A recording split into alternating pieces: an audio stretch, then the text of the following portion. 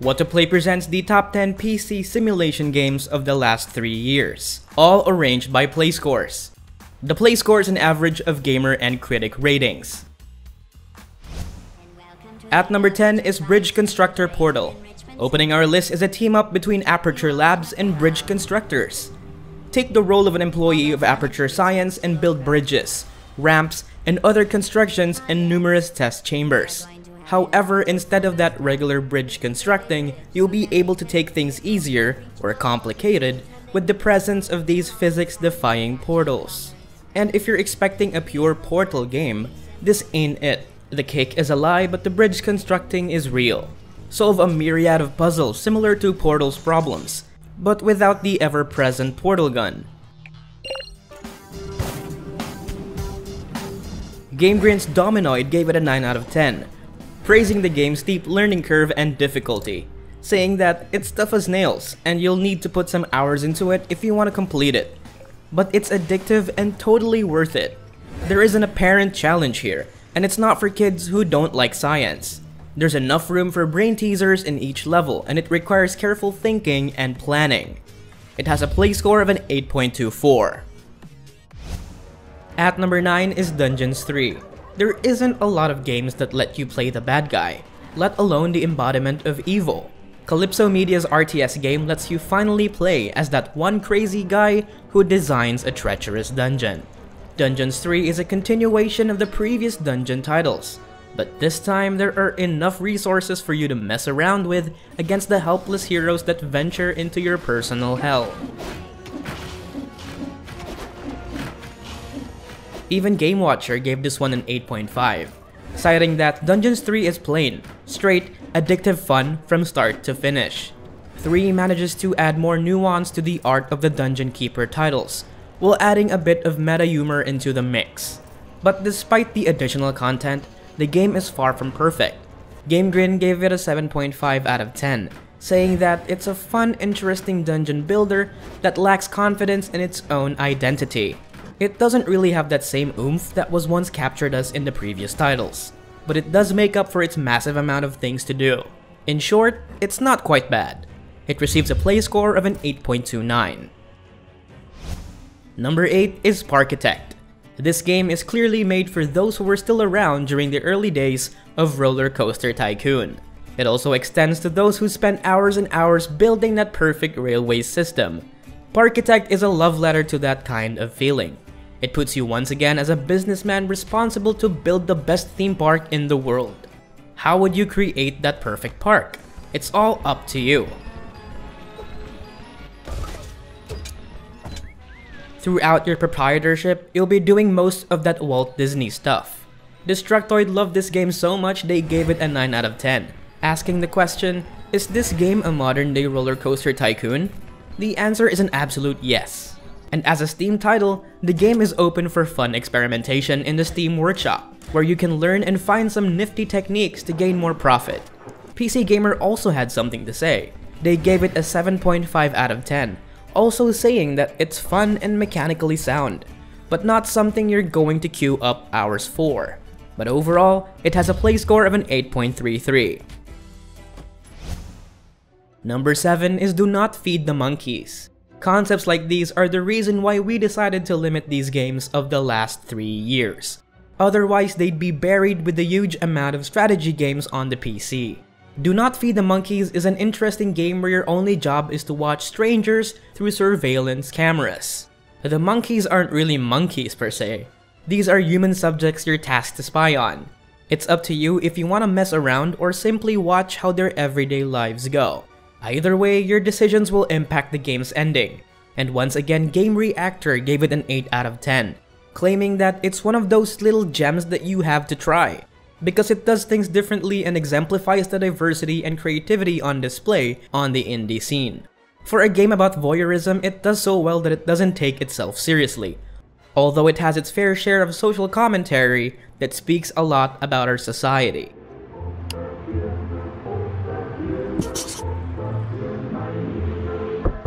But most of all, you're basically watching people do stupid things. It has a play score of an 8.38. At number 6 is Frostpunk. From the team that gave us the emotionally wrecking survival game This War of Mine, they have another title that will give us an even bigger responsibility for the future of the human race. Frostpunk is a beautiful city building game with a depressing story about a sunless Earth. In short, everything is freezing cold. As an overseer, you are tasked to lead these survivors into a new tomorrow. Battle frostbites and hypothermia by building massive steam-powered machines that are capable of bringing heat and warmth to your people. Hardcore Gamer gave this an 8 out of 10, saying that hours will go by as you are consumed into the doom and gloom of your city while trying to make sure people don't die. Its chilling morality lets you pick sides depending on which laws you sign. You could assert your dominance under a disciplinary system, or bring hope to people through religious means. There are multiple ways to save your people, and that's where Frostpunk shines.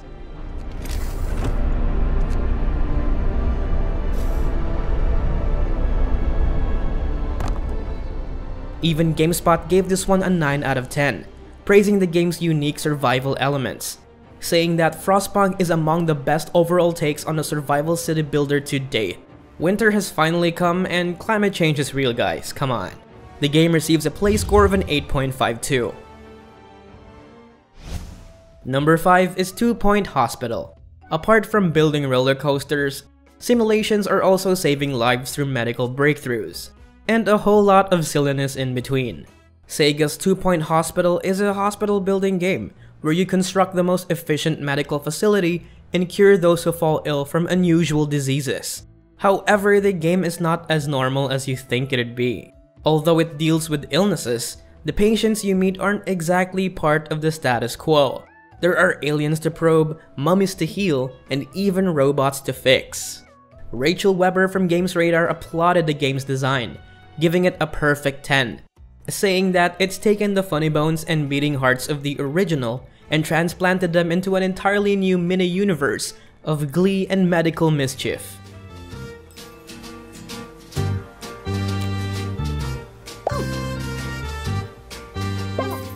And like most of these other titles, it doesn't take itself too seriously. Any moment you'll be dealing with a massive horde of the undead, or a swarm of extraterrestrial freaks. Aside from maybe its functionality issues, Two Point Hospital is a wellspring of comedy that might tickle your funny bones.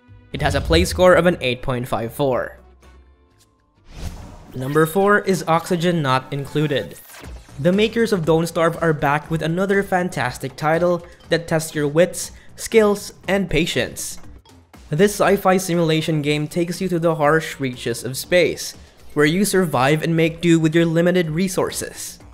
Everything you do in the space colony is under your control.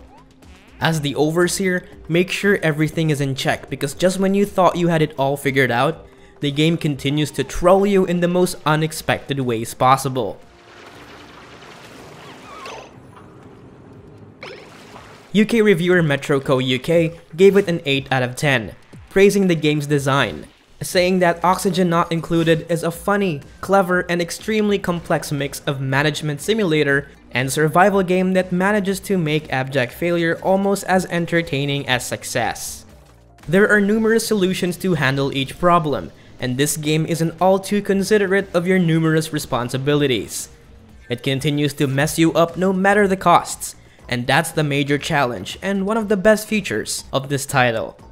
It has a play score of an 8.64. Second place is Slime Rancher. Probably the most wholesome entry on this list. Slime Rancher is an adorable and straightforward adventure where you manage a ranch and raise cute extraterrestrial slimes. As a young rancher who recently got access to this renowned property, you are tasked to get it up and running.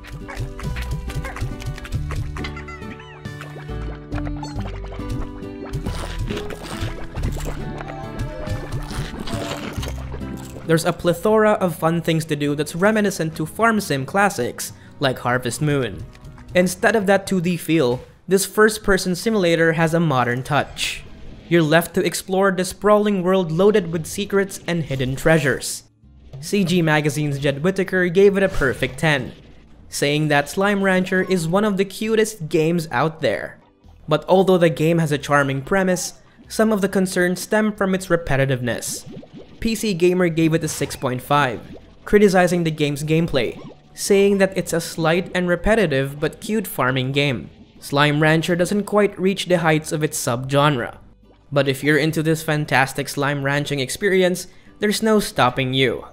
It's the perfect stress reliever after a long day. It receives a play score of an 8.84. And the best PC simulation game of the last 3 years is none other than RimWorld. After years in early access, it's about time Ludeon Studios unleashes their sci-fi colony simulator where you create your own mesmerizing story and help these clash-landed survivors. Powered by an intelligent AI storyteller, every scenario is randomly generated, adding more depth to its survival elements. We built, mined, harvested, endured frightful conditions. And manhunting rabbits. Beastly pirates raided us. It feels like watching a different sci-fi story in each passing moment. Characters have different paths and the planet isn't all too friendly with the human race. Game Reactor's Mike Holmes gave it a perfect 10, praising the game's allure, saying that it's the kind of game that you'll wake up thinking about, that you'll sink untold hours into, that'll run in the background while life goes on all around you. And he's not lying. Most players on Steam racked up 200 hours and even more of their game time. But hey, like most games, RimWorld isn't close to perfect.